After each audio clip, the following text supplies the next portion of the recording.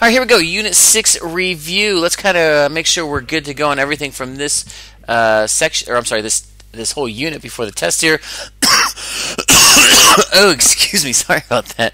All right, so what is similar? Remember, similar means that we're talking about it has the exact same shape, but what's the only thing is a different size. So same shape, different size. So that is similar. And I know a lot of time in this chapter we spent on triangles. It doesn't have to be triangles. We could have like a little trapezoid looking thing, and then maybe I've got one that's smaller. So they're the same shape, different size.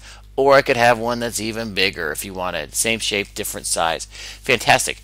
So that leads us to scale factor. Scale factor is like this proportionality constant. How much bigger is it? So I don't know if I used that word before, proportionality constant, but it's like how much bigger or smaller is something. Is it twice as big, three times as big, one and a half times as big?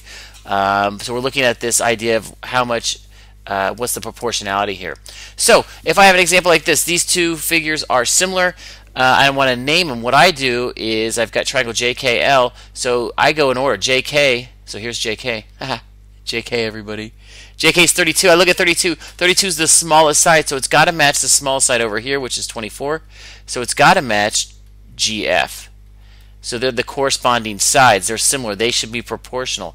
Then from there, I know if it goes to J to K to L, this has got to go from G to F to E. So I can fill that in. But let's make sure we know the corresponding parts match up. Uh, the next one is from K to L. Look at this is 56. It's the biggest side, so it's got to match F to E. So they're proportional.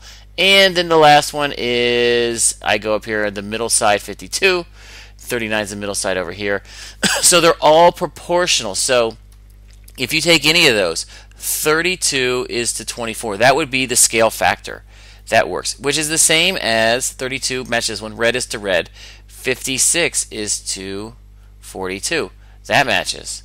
And the last one, 52 matches 39. So if I made these decimals, they would all be the same decimal, the, all the same scale factor. So they would all be the same. Could you flip them upside down? Sure. You could go from big to small or small to biggie smalls or small to big. You could flip them all. You could say 24 is the 32 or 42 is the 56 is the same thing as 39 is the 52. So either one of these will be right. You know, if you if you tell me on the test, oh yeah, the scale factor is this, you know, that's right. You can say that the big triangle is 1.33333 times bigger, or if you tell me the opposite, this is also right. You can say, oh, that's not right. That would actually be wrong. Let's try it again. 24 divided by 32 is 0.75, you could say the small one's 0.75 of the big one. So either way works out. And again, they all match up. You know, 0.75, 42 over 56 has got to be 0.75. And 39 over 52, again, got to be. Oh, why do I keep doing it? I'm having some issues. 39 divided by 52 is got to be 0.75. Fantastic. All right, so that's uh, really the first section in a nutshell. Then we went on to say, okay, can we prove it without uh, showing every single thing? Are there shortcuts to prove that yes, they are? Here's one right here. This is angle angle similarity. I know that these two are similar. Why? Because I know a bunch of angles. Really, I know vertical angles here are congruent. And I know that these are parallel, so you've got corresponding angles. This is this. You only need two. In this case, I could actually show the third one is, but all you need is two to show they're similar. So this is the angle-angle similarity, because if these two are the same, the third angle's got to match up. So if you can find two angles that are the same, these are definitely similar.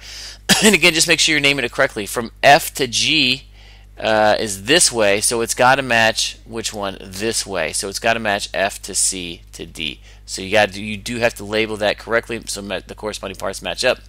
How about this one?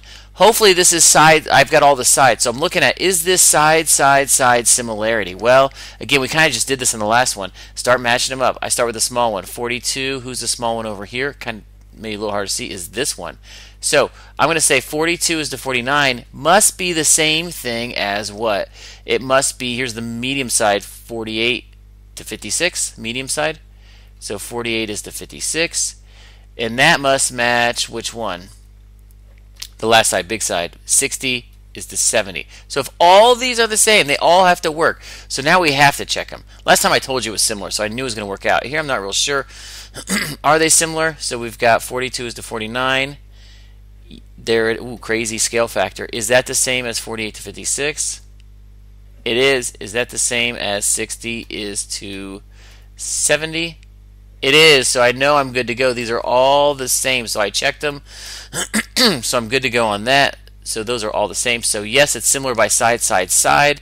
And then make sure we name it correctly. I've got this nice and color coded. So it went VU. That matches which one? VUT would be the same as JKL.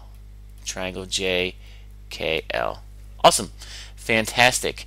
And the last one, what is this? Well, I know that this angle is congruent to this angle because they're vertical angles. So I'm looking at side, angle, side. So is it side, angle, side, similarity? These are the three ways, by the way, we can prove angle, angle, similarity, side, side, side, similarity, and side, angle, side, similarity. if you don't have that, then we can't really, we can't use a shortcut to prove it. But again, you have to check your sides here. I know the angle's good, but you have to check it. So be careful here. Again, I look at small side. 27 is the small side. 9 is the small one over here. So I'm looking at is 27 over 9 the same thing as what? Uh, 33 matches 11. So you got to line them up 33 to 11. And let's just check that real quick, make sure that it all works out. Is wait a minute, I know 27 divided by 9. What am I doing? is 3, and then I also know this, but since I got the calculator up, I'm just going to finish it out. Uh, what was that? 33 divided by 11. Unbelievable. Mr. Brush using a calculator for that. That's all right, as long as you get it right.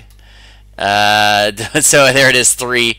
Uh, so this is three times bigger than that one. So yes, this one does work out by side, angle, side. So go ahead and let's fill this in. Triangle FED. It goes from F to E to D. So I'm going to go from F to T to U. Awesome. Fantastic. So that was 6.2. The final one is this side splitter theorem. Remember, everything here is essentially proportional. So this side matches this side, this side matches this side, and the whole side matches the whole side. So all these are proportional. So you got all kinds of options here.